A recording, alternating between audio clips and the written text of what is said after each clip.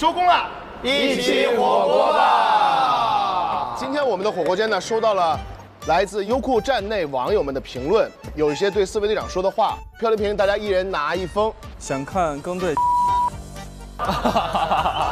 看雨欣队长跳。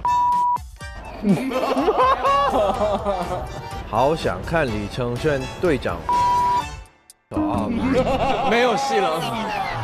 希望今年能够看到一博队长和我超喜欢的来一场合作舞台。马上来了，马上来了，马上来了。如果是突然 Q 你上去 battle，你还是要 battle 可以的，还是 popping 对吧？不一定啊，是吗？啊。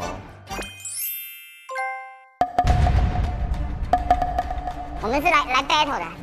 哎呀，battle for hot pot，火锅之王。哎，这个太明显了，太熟悉了，这一看都知道是谁。太熟，鞋我都能看出来是谁。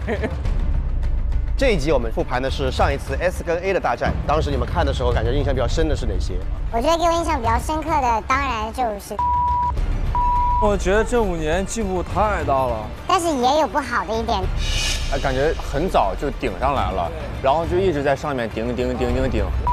他平时就不会散发出来，平时就是很呃不那么不那么强的东西，但是他只要跳出来，马上感觉这个怪妖怪就是上身一样，他马上就会上身，就马上发散发出一个另外一个感觉的，是他最喜欢的编舞者之一。有一个的点，其实你们还不知道，巴西战舞。对他还会那个巴西战舞。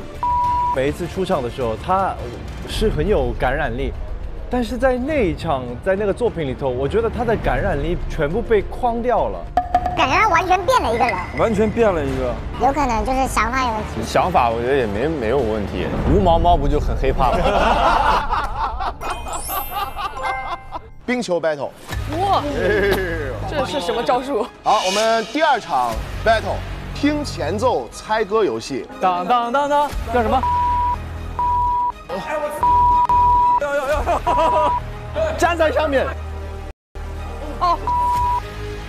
你们要说一句“火锅之王，我服了”，因为你们输了嘛。小选还是什么？哇！哇！哇！哇！